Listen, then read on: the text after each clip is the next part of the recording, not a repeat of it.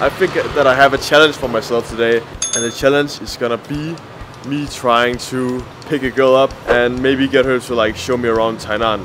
Hey, excuse me. Excuse me. Can I film? So this is the the beef soup because I've heard it's like one of the best meals here in Taiwan. Good morning, guys.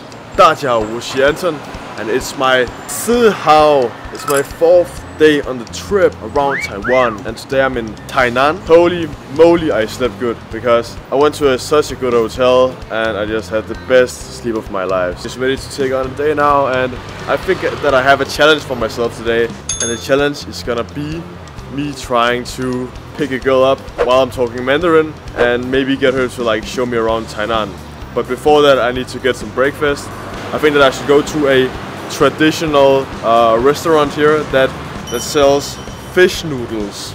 Because I heard from one of my fans that like that specific place that I'm going to is like a really really traditional and really really like popular place here in Tainan. So I'm, I'm gonna go here in like 10 minutes and after that I'm gonna see if I can pick a girl up here. So uh, yeah, let's do that.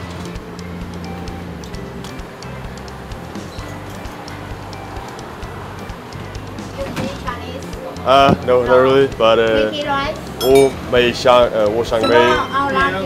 啊，你要大还是小？Small, large, 呃 small small small, one. yeah Tail right inside. yeah yeah. Alright, I guess I got the famous fish noodles. It wasn't what I expected it to look like, but I guess like it probably tastes good. I don't know, but let's try it. It's actually really good. I actually thought it would taste more like fish, but it has like a good, got like a clean fish taste. Not like too much, not too little. Yeah, it's pretty good. I like it. It's not like a usual thing that, for example, us Danish people eat for breakfast. So kind of like shocked that a lot of people eat this like for breakfast or for lunch. But it's really good. Yeah, so I still need to make sure that I know that I'm on a mission because my brain is kind of like procrastinating this. I'm trying to think not to do it, but I know I have to. But my brain just doesn't want to because I know it's gonna be awkward. As I just saw some girls back there, but I just felt like, nah, Anton, don't do it, don't do it. But like a thing that I'm also like pretty scared about here in Taiwan or in general Asia, I can't, I don't know what age. Like for example, I've talked with a lot of like older Taiwanese girls that were maybe like 30 or something. They look really beautiful, and I thought like, okay, you're probably 20 or something like that. But when they say like, nah, I'm actually 30, I'm like, I'm always like, what the. F-? But I don't know if it's also the other way around because I don't want to pick up like some 15 year old or something like that. That's that's fucked up. so I I'm aiming for 20 year olds. Yeah, I hope I can do that. I'm on my way to Shennong Street. See if I can pick someone up there.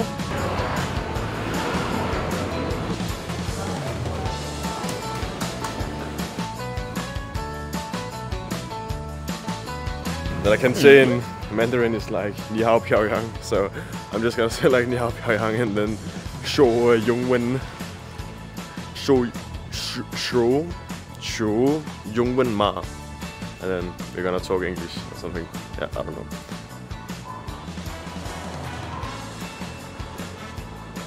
That dog must be the temple's protector. It's like almost like 1 p.m. right now and it's super super hot because I live in Denmark. I'm not used to this hot weather. So I would say it's kind of like a challenge for me to just survive walking here and locking at the same time. I'm sweating really hard right now. Alright, no luck there. No luck in finding girls there. Where should I go next? Maybe to university? Nah, I probably can't film there. I found one. I'm gonna try. I just need to get over the street. Hey, excuse me. Excuse me. Can I film? Oh, okay, thank you, thank you. Damn. I don't want to be like disrespectful when I'm like filming somebody because I know that not everybody want to be filmed. So I don't know if I, if I should already ask like in the start like do you want to be filmed before I ask any questions. But she said that she had to go back to work. One loss, one loss. Ah, let's hope I'm luckier next time. Okay, but while I was walking like here, I actually saw a um, Ooh, a cinnamon roll. Let's try that. Yao. Um, Wu Xiang Mei. This. Thank you. It's good. Okay. I hope it's good. It looks good. Mmm, that's good. And something that I didn't expect this to have is that it actually has like nuts in there. Good stuff, good stuff. It's not like too like sweet. It doesn't have like too much cinnamon and it doesn't have like too much like sugar. It's good, it's good, but it's not as good as like cinnamon or maybe like the, uh, the cinnamon rolls that I get at home. But uh, it's, it's still really good. So I just got into the Chikan Tower, but before I actually go further, a fan brought me some, I think it's Naicha. I've honestly gotten so many like gifts from fans, like I can't eat all of the food because it would just make me fat. It's, oh my god, uh, like I don't know what to do. But I'm very thankful, but oh my god, it's just so much food. Let's see what this mysterious liquid is. Oh, yeah. That's some good naicha. Some good sugary naicha. The naicha.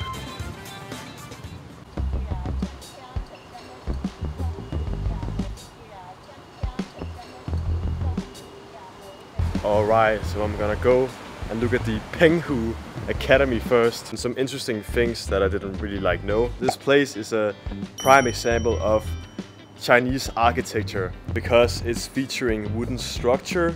Yeah, it features stone carvings and, and of course the traditional tiled roofs. Pretty interesting.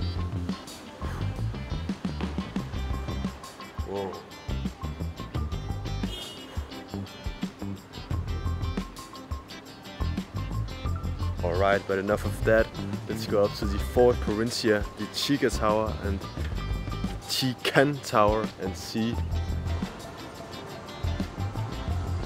Damn, it's so beautiful.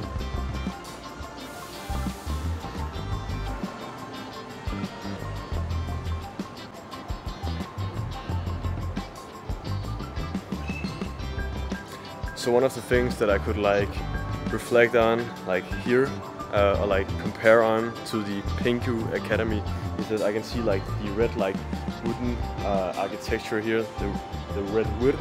It's also like, it's a part of the Chinese architecture. And I don't know if I can get a good view on the roof here, but it should be like a combination of Western style architectic, archi architectures. I can't really get a good look on the roof of the roof.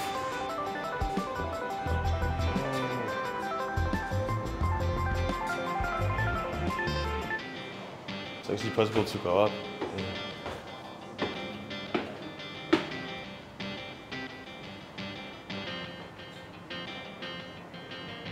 I'm really like fascinated by, by all of the gods that you guys have here and as I read like this god is the god of literature Gawler says alright just found some nice fans and we are gonna eat the uh, beef soup now right?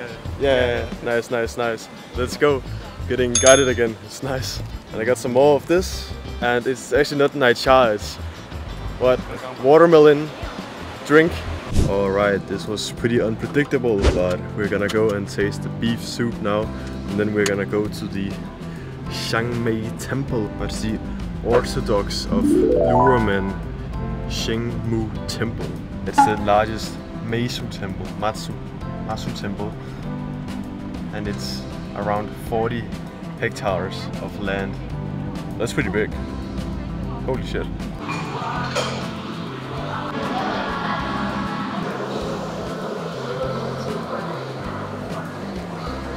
Alright, so this is the beef needle, beef soup, the beef soup, and I'm pretty, pretty interested in tasting this soup because I've heard it's like one of the best meals here in Taiwan. So uh, let's go and try it. Oh my god, it's so hard to use chopsticks. Got it here. I'm gonna taste it without any sauce first.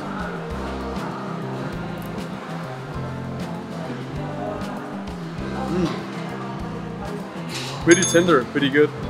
Now I'm gonna taste it with the sauce. Got a big one, a little bit of sauce on. Mm. That's super good, super henrao. And besides that, I also got some fried rice with beef. And this looks delicious, really.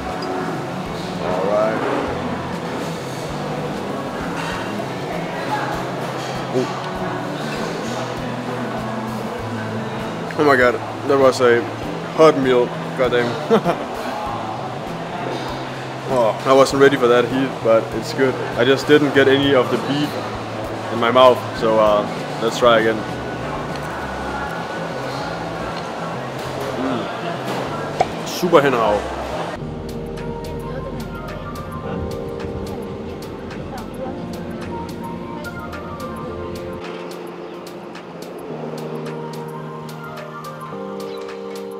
Alright, we are here and honestly it's like so spectacular, so big. I, I hope that I'm not like being disrespectful with filming at these places because I'm, I'm pretty like scared that I, uh, it's like disrespectful. So yeah I hope not that I'm filming something that I that I'm not like allowed to film. But this place is actually so crazy.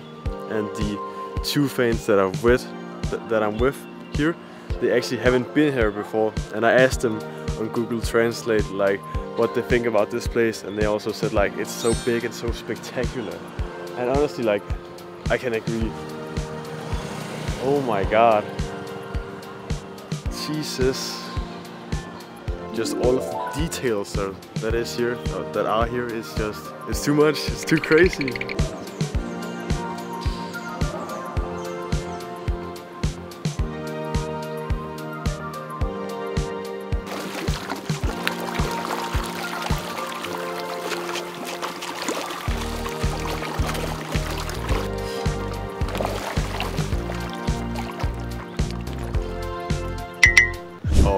so I just came back to my hotel and it was such a nice trip with my two friends. They were so nice.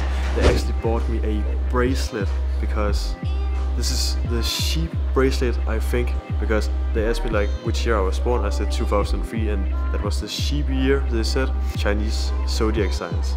So they gave me this bracelet and they made like a ritual. So they said that if I have this bracelet on me it will grant me luck that's so interesting, and I'm uh, I'm gonna take it on now. All right, it actually looks really pretty. I'm gonna keep this on. It has been so great being in Tainan today. It has been really really fun. I'm also like really surprised about how cheap the food is here compared to, for example, Taipei. It's like it's so much cheaper here. Like, what's going on? I'm probably gonna eat like sushi later, and I'm not gonna pay anything for it. So that's it's gonna be nice because I'm gonna eat like 50 pieces. but I think it has been a really really interesting day for me.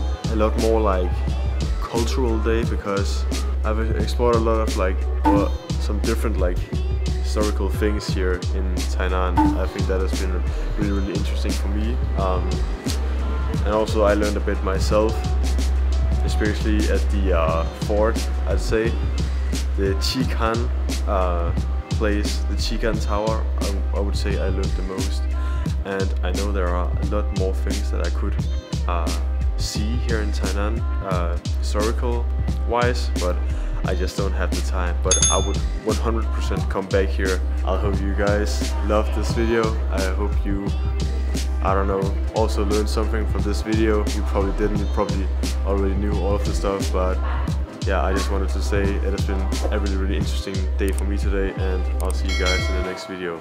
Bye.